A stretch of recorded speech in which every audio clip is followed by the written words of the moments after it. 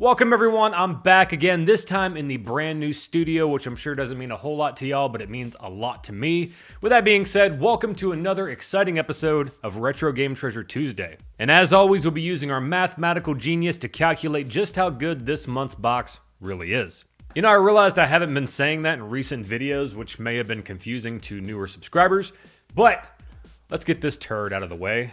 Uh, Powerpuff Girls Paint the Townsville Green on the Game Boy Color.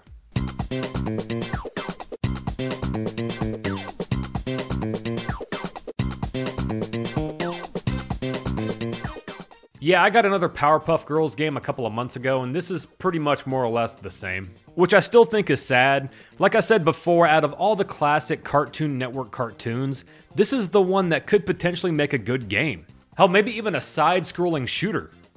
That could be kind of cool.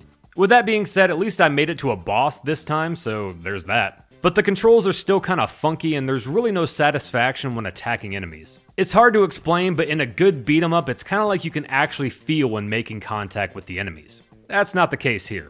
Half the time, I'm not even sure if I'm hurting the enemies. Anyway, not really much else to say about this game. You know, I really thought that said poo for a second. Overall, it's pretty much mediocre crap. If you are a hardcore fan of this series, maybe you could find some enjoyment, but for me, I don't see myself coming back to it. I'm going to give it a D.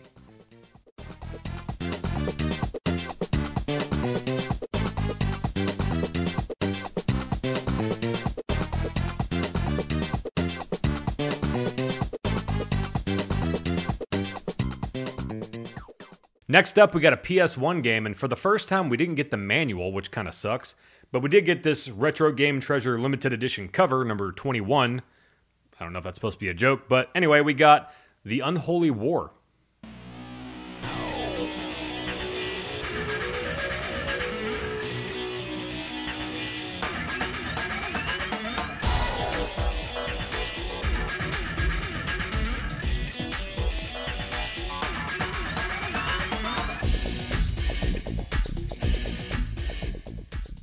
I want to start off by saying thank you, Zach, for writing all over the case and the game. I don't know why people did this crap back in the day, but I know I never did.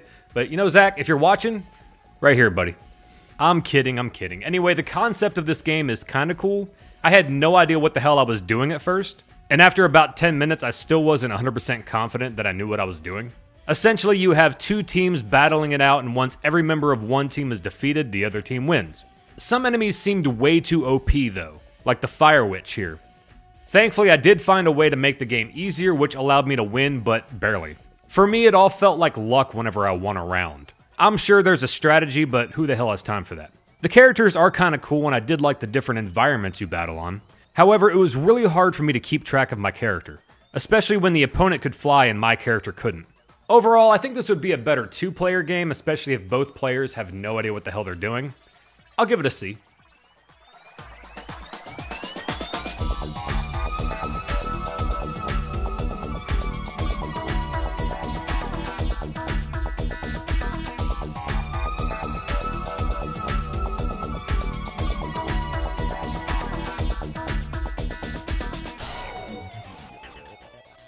Last up, we have a Famicom game that I have no idea how to pronounce.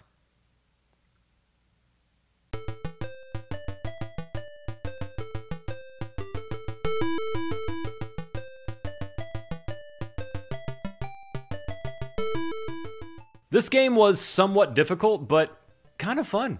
From what I gathered, this game is based off an anime, so of course I know nothing about it, but it was renamed here in the States as Ninja Kid. I will admit, I enjoyed this game more than I expected. You start off on an overworld map, and it does appear that the stages are random, which is pretty cool. You have to either kill a certain amount of enemies or collect these white tadpole looking things.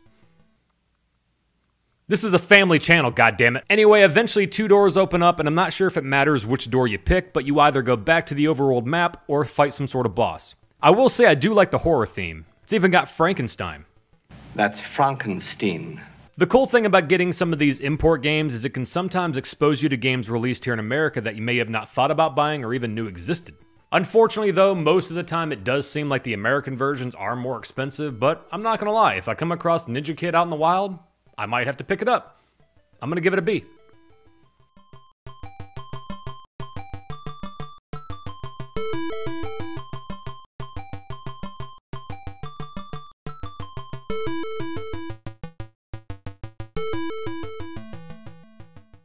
Well, anyway, guys, that gives us a mediocre score of C. Not the best month, but not a waste of my time.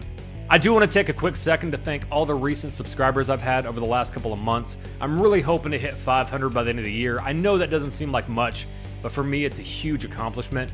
Anyway, thanks again for watching, guys. You know what to do like, comment, subscribe, all that fun stuff, and I'll see you again next time.